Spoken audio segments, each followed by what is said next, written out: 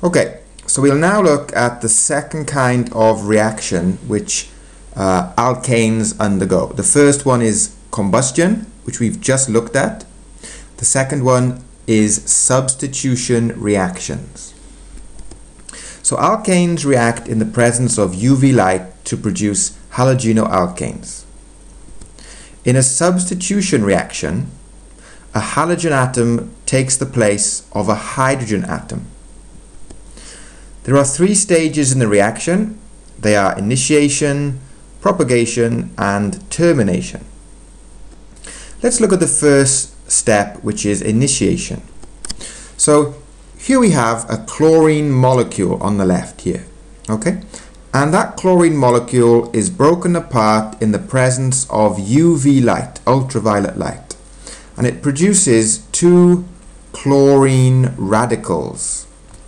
Okay, so a chlorine radical basically has an unfilled valence shell of electrons. It only has seven electrons in the outer shell. Now we know that chlorine wants eight, so that makes it very reactive. Okay, so these radicals or free radicals, they are very reactive.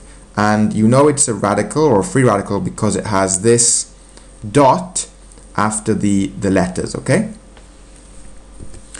So the bond between the chlorine atoms is broken by UV light. You should always have the UV above the arrow, okay? So don't forget that there.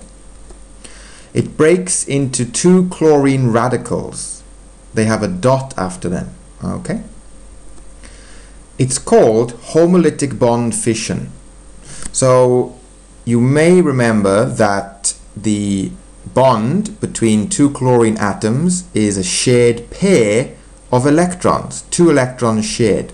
So in homolytic bond fission, each of the atoms gets one of those electrons. Okay, so that means they form chlorine radicals. And that's initiation. Okay, and if you ever have to write an equation for initiation, this is how you do it. The halogen goes on the left, the arrow with the UV above it, and then you can have the two. In this case, it's Cl radicals, chlorine radicals. It could also be bromine. Okay, in that case, you'd have Br2 arrow 2Br with a dot. Okay. Okay, propagation. So what happens in the propagation uh, part of the reaction is this. You have your chlorine radical here. Okay? That reacts with CH4, which we know is an alkane. It's methane. Okay? Now what you produce is something called a methane radical. Okay? How do we know it's a radical? Methane, sorry because it has the dot here. Okay, remember if you see a dot after something, it's a radical. So that's the methane radical. Okay, and you also get this here, which is hydrogen chloride, HCl.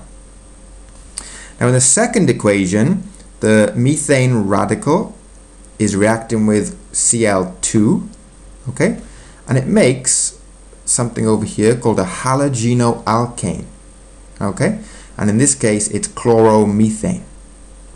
Now the important point is you also produce another chlorine radical and that can start the reaction all over again here. Okay, so this is called a chain reaction. Okay, so in the propagation stage, chlorine radicals react with methane to produce methane radicals. In the second equation, the methane radicals react with chlorine. The end product is chloromethane, CH3Cl. Okay? A chlorine radical is also produced which continues the reaction and we call it a chain reaction. The final stage in the reaction is called termination. Now in the termination stage what happens is basically is these radicals, okay, they've got chlorine radical here reacting with a chlorine radical here to give you Cl2. In the next one you have a methane radical here reacting with a chlorine radical here to give you chloromethane. And another product could be a CH3 radical, a methane radical, and another methane radical to give you C2H6, which you should know is ethane. Okay, so all these here, Cl2, CH3Cl, which is chloromethane, and C2H6, which is ethane, are all products. Okay, and all these are called termination reactions.